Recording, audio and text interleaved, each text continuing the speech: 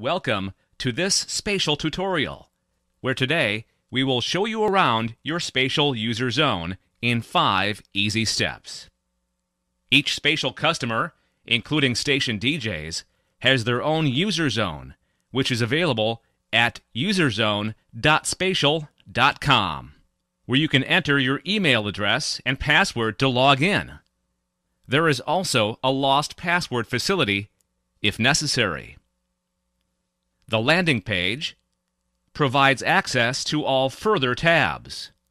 Step 1 The Personal Details tab, where you can view and update your personal information, including your email address, and where you can change your password.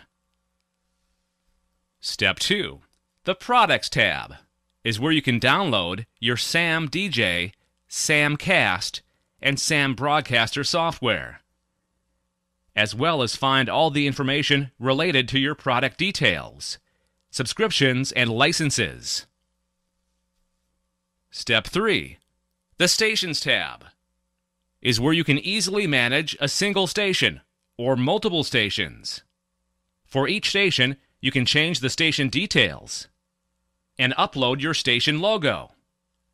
You can customize and generate a number of different player widgets and web widgets to suit your website theme.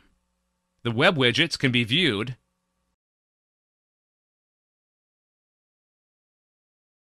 and the generated code is simply added to your website. You can also view your listener statistics by minute, hour, or day, and generate history reports. You can manage your DJs and external relays, which can connect your stream to any Shoutcast V1 or Icecast V2 streaming services.